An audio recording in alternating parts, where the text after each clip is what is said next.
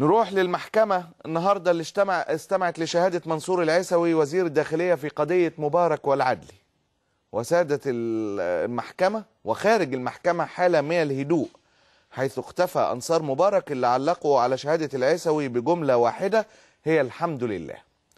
استعرضنا مع حضراتكم امبارح نص مذكرة وزارة الداخلية للنيابة حول أحداث الثورة واللي قالت فيها إن مفيش حد مات في التحرير. ولم يتم إطلاق الرصاص الحي في مواجهة المتظاهرين.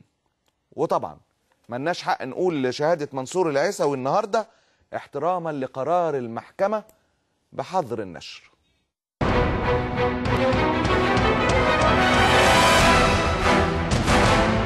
اولا هيجي ولا مش هيجي ده من إطلاقات حريته الخاصة طبقا للقانون ومن إطلاقات تقدير المحكمة فيما إذا كان هناك ظرف أو لا.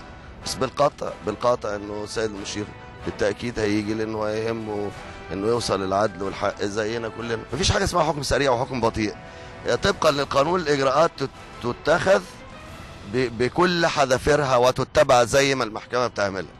أن تستوفى كل الطلبات اللي تراها المحكمة وتقدرها فتستوفيها وتطلبها وتستقضيها وتتأكد من تنفيذها ثم تستجيب لطلبات الدفاع فيما يتعلق بما يدور في الجلسة من مناقشه شهود ولا غيره.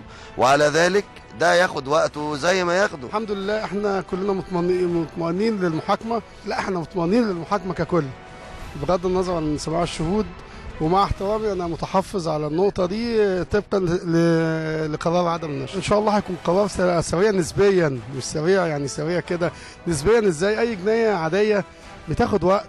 ودي جناية مش مش جناية عادية دي جناية تاريخ. ده حكم تاريخ كامل. ووقائع الجلسة كلها بتدور في إطار قانوني سليم وحضور سيد وزير الداخلية. جو الجلسة أو الجلسات السابقة ده يعني من وجهة نظري هيؤدي إلى إنجاز الفصل في في القضية. نظرا طبعا للشعب عامة كل منتظر سواء أهل الشهداء أو غير أهل الشهداء منتظرين بشغف جامد سرعة الفصل في القضية فطبعا النهارده مستشار احمد رفعت كان في بعض الجلسات بيقعد فيها بالعشر ساعات والثمان ساعات لسرعة الإنجاز في القضية والنهاردة الرئيس عقب على بعض أقوال السيد وزير الداخلية. يعني لا هي مش نفي أو بالجزم. هو عقب تعقيب شديد ونفس الحكاية برضه وزير الداخلية عقب على كلام لكن هو ليه ما أنا المستشار أحمد رفعت بيتفوق على نفسه ويؤكد إن القضاء المصري قضاء شامخ وقضاء عادل وإن المستشار أحمد رفعت في في أسئلته وجه كل الأسئلة اللي بتدور في في, ذهن الشعب المصري واللي في صلاحها إنها تخدم القضية للمتهمين وللمدعين بالحق. متوقع السيد المشير في الجلسة السابقة تقدم باعتذار عن طريق اللواء عادل مرسي لكن المستشار أحمد رفعت رأى إن إن حضور المشير هيفيد القضية وهيبقى يعني شهادته تفيد القضية لصالح المتهمين أو لصالح المدعين بالحق المدني فطلب حضوره المرة الثانية على التوالي خصوصا انه اعتذر لوضع البلد الأمن.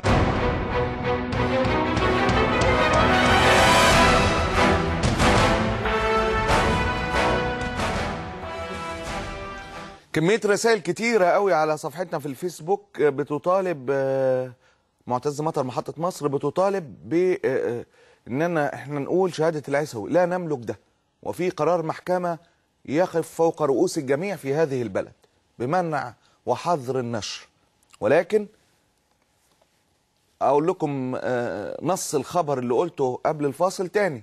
ولكن لا أملك ولا أستطيع ولا يستطيع غيري طبقا للقانون أن يقول ماذا قال منصور العيسوي. النهاردة استمعت المحكمة لشهادة منصور العيسوي وزير الداخلية في قضية مبارك والعدلي وسادت حالة من الهدوء خارج المحكمة.